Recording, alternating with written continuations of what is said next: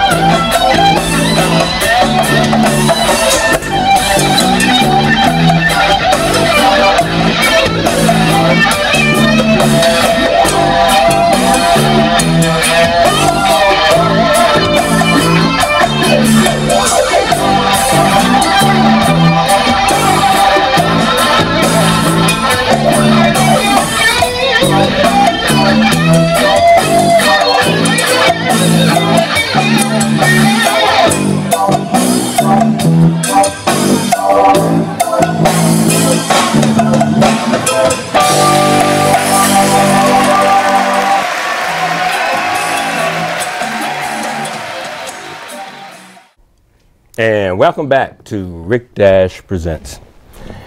I'm here with some great, great musicians here. Had the opportunity to sit down and perform with them at the Fillmore. Spell F I L L M O R E. I can spell. I can spell. But now, here's some of the guys and uh, of the band Claw. So I would like for you just to introduce yourselves. Yes, hello, my name is D Bell, percussionist with Claw. Just hanging out with these guys, having a great time. I'm V. I play bass.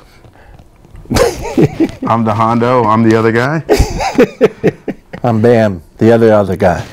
Now you can see they're a bunch of crazy guys. They are being. Remember the night at the Fillmore, uh, Vince? I remember it well, Rick. Uh, tell me a little bit about it, man. Um, it was it was just a great time, Rick. I mean, from the moment we got there and did our sound check, everything was wonderful. It was a great venue. Uh, you know, everyone showed up on time. We had a great crowd, and uh, it was just a great show. We had a real a lot of fun. But tell me your experience of the uh, Fillmore, man. That was great. It was great playing with a reggae band. I don't know if anyone brought that up yet, but um, this is a great reggae band. I like the whole feel. You know, it's like you know that roots thing. I think it's really good. We had a great time at the Fillmore. It was, uh, you know, it's one of those high points uh, in my musical, long musical career. But it was good. It was really good. Vibe with the guys. We had fun. Nothing like having a great stage, light, and sound system. Yes. We had really elevated our playing. but it also elevated our stage presence. We really looked good out there and sounded good. But yeah, it was great. I had a great time. I love playing reggae. You know, the lots of room. You know, you don't not like they're playing like this. You know, this dude behind me like, oh hey dude. You know, no, it, it was cool. I, I really dug it. I, uh, I I had a good time. In case you couldn't tell. Oh yeah, I You would know, see that in the I mean. I, I don't really like emote that much, so you know, uh, hopefully you can tell You that. can I- hardly tell you emote. Yeah, you know, I, I don't- or gesticulate or, or anything like that. I just kind of, you know, Whoa. stow it. So, man, what did you think of the? Uh, Still that, brother. so, man, what did you think of it? I, I'm not sure. Gesticulated. What was that? Gesticulated. All right. Uh, no, it was a great experience. I think you guys mentioned about the sound and, and just being at the Fillmore itself. Uh, you know, the one in Silver Spring isn't so much the, the historic Fillmore that you hear about, but just to have that name associated and, and to play at a venue like that is is, is uh, definitely one of those things you check off on your bucket list. Right. and then just playing with you guys, I mean, it's a lot of fun, and everybody's got big ears and listening to each other, and uh, it comes out in the music. Absolutely, absolutely, absolutely. Now, the experience of the film, what was something that just set it aside for you? You know what I mean? What really stood out? The sound. The sound. Could hear everything. Oh, it was it was awesome. It was really just being able and and the fact that the engineers, you know, you could really interact with them. Like Mm-hmm. they were you were communicating with them. At least for from my perspective, I thought it was really they were on their job. Yes, so I really thought that was really yeah. We had a really good sound Yeah. system in that uh, particular. So, uh, starting with Mr. Bell, how long you been playing percussions, man? Uh, for at least um, ever. Um, I've been playing for a long time, and I'm only 19, so I've been playing at least I've been playing at least 21 years. He's 12. and um, I've been playing. You know, I love. Uh, I, I love playing them, but you know, it all comes to what I really like about it, the band is that it's a reggae band, and see the whole thing as far as being a percussionist. I really enjoy. I one of the reasons I even started playing set was because I wanted to play reggae. You know, and, and once I started playing reggae on the set, and then I started playing, I could play. Actually, gave me a better feel for the blues. You know, and I, that's one thing I, I noticed. That reggae is a real nice feel music. You know, especially you take your time out you get in that right state of mind. You put a lot of space in there. It's it's really it's a it's a nice nice experience. I think it sets you up for it set me up for like more feel and, and playing blues and things like that, and just put, put in space. But so I'm just gonna I'm gonna emphasize it. It was great playing to Fillmore, but it was great playing to Fillmore playing reggae with you guys. No, fantastic. You know that's uh that's where I'm at. So well, we're taking it around the part. So, Vinny, how long you been playing, man? Well, I uh, I got started late. I didn't start playing uh, bass until I went to college, and um, I got more into music than I was. I was really into sports before then. And at one point, when I was in junior high, I took a drum class. You know, where they set you up with one drum and they teach you ta ta, ti ti ta stuff. And uh, so I got like a little taste of um, music then and how it would feel. But I always loved music, even as a child. And I remember one of the first songs I really remember is uh, Bob Marley's "I Shot the Sheriff," and I heard that. I, Eric Clapton. well, I heard the Bob Marley version, and uh, and that really, I mean, I just I taped it, and I played it over and over and over again. It was just like the most awesome sounding thing because um, everything up to that point was kind of uh, you know you, you listen to either rock or you listen to R and B, Yeah. and then all of a sudden it's like, what's this? You know, and so uh, that kind of got me set up to play reggae later on. Oh, fantastic, fan. So Hondo, how long you been playing that magical guitar that you play? Um, I've been I've been playing for a while. Uh, And what inspired you to, to, to actually to pick the guitar? wow. Well, I have a few family members that are very musical. Like I kind of come out of a.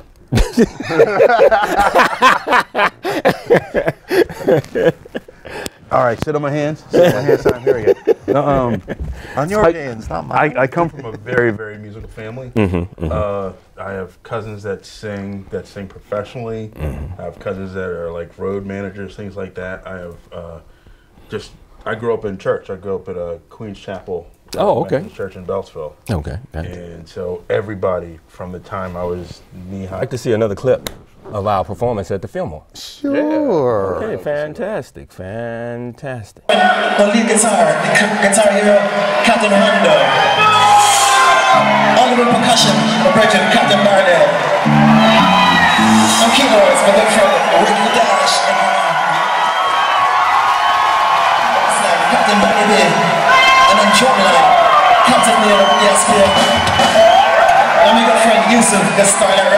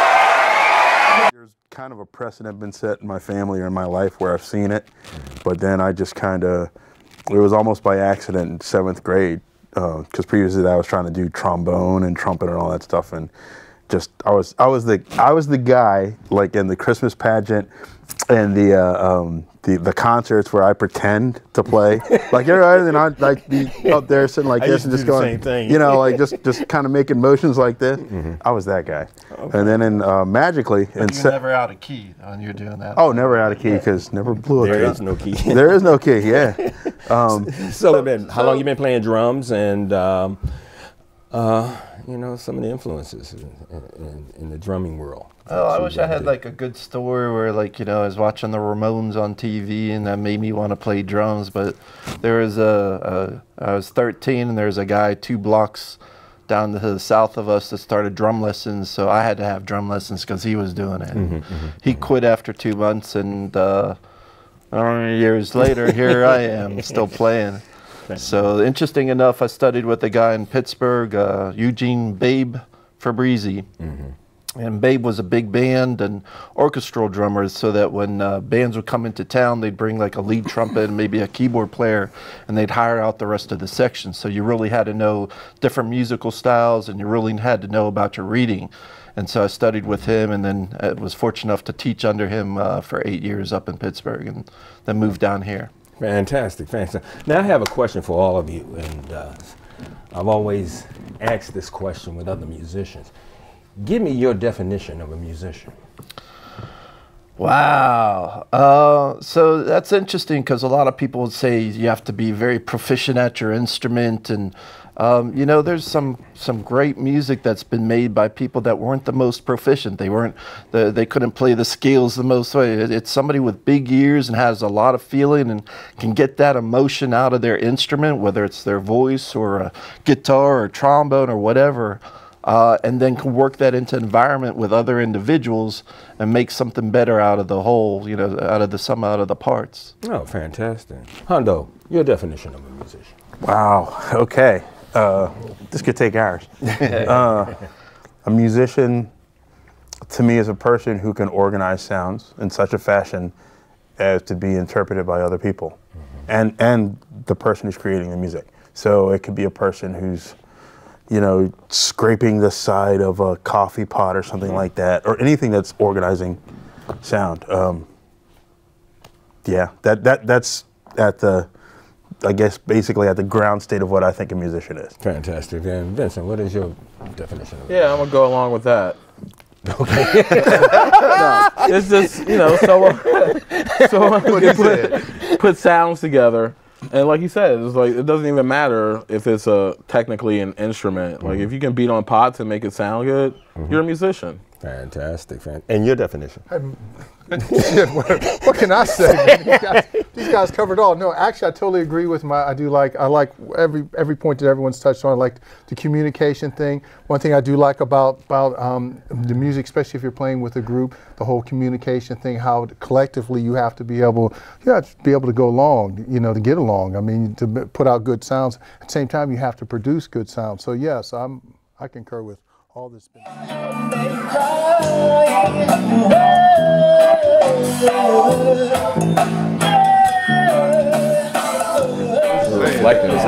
I'm not gonna say. I'm, I don't know how to take that. I'm not gonna say that saying, but but some of us folks know. who's generating that? Who's generating the heat? Coming off a band's head. Right. I ain't talking. I ain't talking. I ain't reflecting nothing. There's like satellites that are like changing their path, rotating around my head. Well, we got, we got a few. Look, you can just like pick any five out there. God damn, any five. I don't care. There's some rock stars out there doing that. Sorry, let's shoot. Let's. Eric, cousin Eric. Hey, how you doing? I swear I've seen you before. That's Ricky. Yeah. How you doing? Rick Nice Dash. to meet you. How's it going? Darnell. And you know Yeah, you got the blue, the blue thing out of the way, man. That Can, uh, fella. can I spot right there? Who's got the way? So earlier I was, I was, uh, Dave wanted to take some photos, but she can't get back without, it's a red thing. You got the time, you know? Huh? It's. So anyway. anyway. I'm